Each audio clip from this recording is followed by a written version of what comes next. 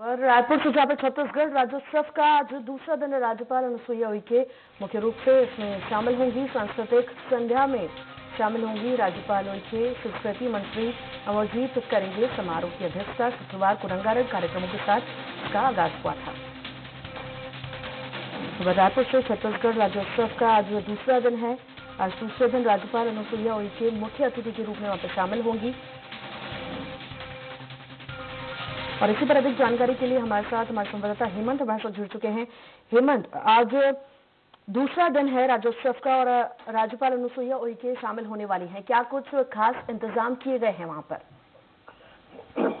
देखिए, छत्तीसगढ़ राज्य का विश्व स्थापना दिवस समारोह यहाँ पर चल रहा है और पहले दिन मुख्यमंत्री भूपेश बघेल ने इस राज्योत्सव कार्यक्रम का शुभारंभ किया। कल 11 विधियों को अलग अलग जो कैटेगरी है उनमें सम्मानित मुख्यमंत्री भूपेश बघेल ने किया। इसके इस दौरान जो तमाम कैबिनेट के मंत्री हैं वो उस दौरान मौजूद थे।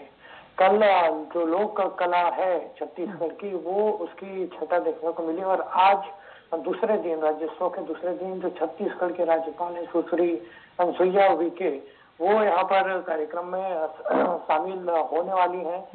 वो जो अलग अलग कैटेगरी के और अन्य विभूति हैं जिनको अलग अलग क्षेत्र में सम्मान मिला है उन सबको वहाँ पर सम्मानित करेंगे इसके अलावा जो संस्कृति मंत्री हैं अमरजीत भगत हम्म। वो कार्यक्रम की अध्यक्षता करेंगे पूरा जो कार्यक्रम है वो साढ़े छह बजे शुरू होगा और आज जो छत्तीसगढ़ के कला मंच है हम्म। चाहे राउत नाचक की बात की जाए चाहे सुवर्ण नृत्य की बात की जाए उसकी छटा देखने को मिलेगी हम्म। क्योंकि तो सरकार ने फैसला लिया है पहली बार छत्तीसगढ़ में कि हम्म। बाहर से किसी भी कलाकार को राजस्व में नहीं बुलाया जाएगा और उसी तरीके से यहाँ पर जो छत्तीसगढ़ के कलाकार हैं जो छोटे कलाकार हैं उनको मौका दिया जा रहा है।